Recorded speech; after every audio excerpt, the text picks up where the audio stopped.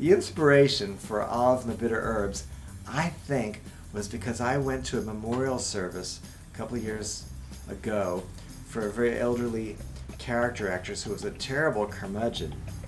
And the other thing was that in my bedroom, I have the way it's I've got two mirrors, and the way it's they're situated that you can kind of like if you kind of go like this, you know, you can sort of see within the mirror within the mirror.